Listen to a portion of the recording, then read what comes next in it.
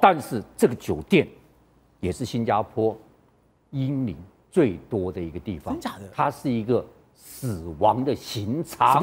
这以前是刑场。对，我告诉你，大家一定要知道，当年英军在这边有十三万人，英军当研判研判什么？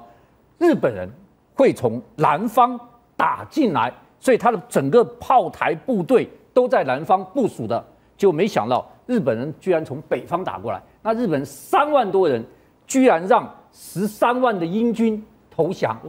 投降之后，日本那个山下奉文实在太差劲了。山下奉文对他说，他们华侨有一个自卫团，他现在抓华侨，抓了就杀，杀了就抛海。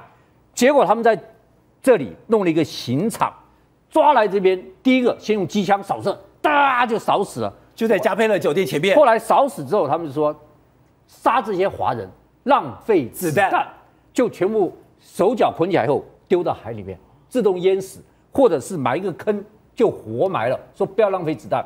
所以这边是个刑场，你知道日本人说他在这边杀了多少人？他说杀了五千人。后来法庭审判，就国际战争法庭审判，说这边杀了多少华人？多少人？五万。新加坡政府公布了档案，说这边杀了多少？杀了十万。所以这地方简直就是血流成海。